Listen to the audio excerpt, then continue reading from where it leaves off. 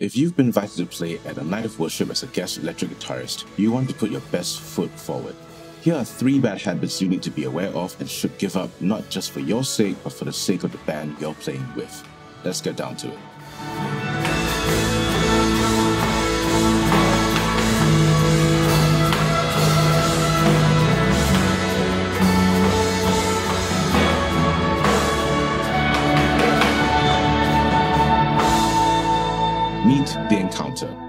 Committed group of brothers and sisters in the Lord who envision for every tribe and tongue to encounter God through worship and adoration. I had the immense privilege of serving with the Encounter music team led by worship leader Clovis at their inaugural worship summit. I was invited by music director Douglas, who's also the owner of the Amplify Studios podcast. You should really check it out for local Singaporean original worship songs, and I've linked it in the description box below. TK is the keyboardist, and fun fact, I've known him since he attended one of my classes during Circuit Breaker, and we've kept in touch ever since. Wow. Am I gonna be on my OG video? I think you are. Hey guys, it's TK here. nice. Now, I hold myself to a high standard of preparation when I get invited to play because I know that if left to my own devices, I'll fall back into three very bad habits if I don't check myself. Stick around for all three as the third one is the most important. Bad habit number one, assuming too much. When I was an engineer working on the manufacturing floor, we had this saying to promote employee safety during our operations. To assume is to make an ass out of you and me. Verbally double checking, triple checking, inquiring on operational status several times. If you didn't communicate, someone might get hurt from assuming something was done when it wasn't. While the stage is a lot safer in that you won't get physically hurt most of the time, I still carry this saying into the way I do ministry. Imagine showing up blind to the venue for rehearsal. Your gear may not be compatible for the sound that the music director is going for. Your parts might clash with the other musicians. Your pedal board might be too big for the stage. You may not even have the requisite equipment to connect to the venue sound system. All that can be avoided if you just asked questions. The counter to the bad habit of under communication is What part do you want me to play? Who's taking that instrumental? What tone do you want my guitar to have? Which guitar do you think is most suitable for my role? Then there are the equally important questions about the venue which you should be clarifying. What's the stage layout? How much space do I have in my corner? Where's the nearest power outlet and how far is it from my spot? Do I have to bring my own DI boxes? There's never one question too many. Always ask questions. Gathering this much information is invaluable not just for your decision making process, but it also informs the worship leader, music director, and stage manager that you're someone who takes the event seriously and gives them honor. The next bad habit is for those of you who have a diva complex. Bad habit number two, being inflexible. Listen to these statements with an objective heart and tell me if these don't take you off. I can only play if the songs are in a certain key because I don't take the time to practice in the uncommon keys with flats and sharps and I'm too cheap to buy a good capo. I can only play if I can bring my 42 inch pedal board and my two Kempers. You need to give me that much stage space. One of the practical ways I truly believe we can exercise servanthood as electric guitarists is in crucifying our diva complex. Get it out of your heads. You're not a rock star. You're here to serve any and every way that you can. I originally wanted to bring my pedalboard with the HX Stomp and Plethora X5 so that every knob was accessible in case I needed to tweak on the fly, but it didn't have balanced XLR outputs.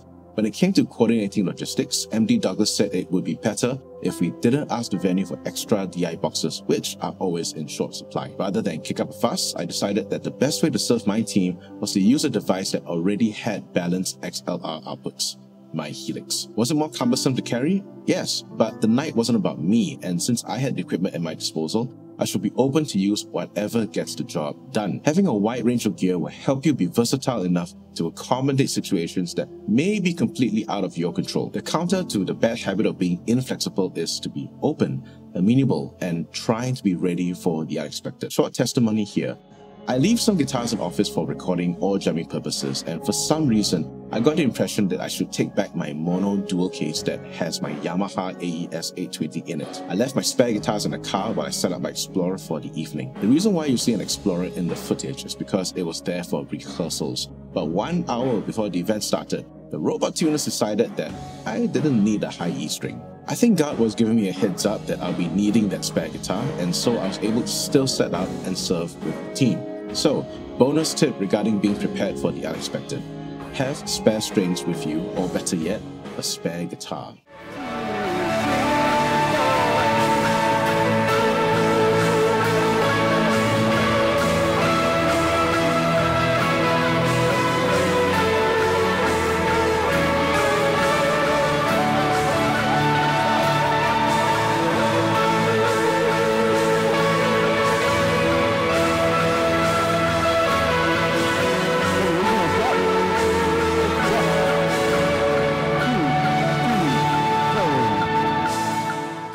Which brings us to the next bad habit and the most important one of all.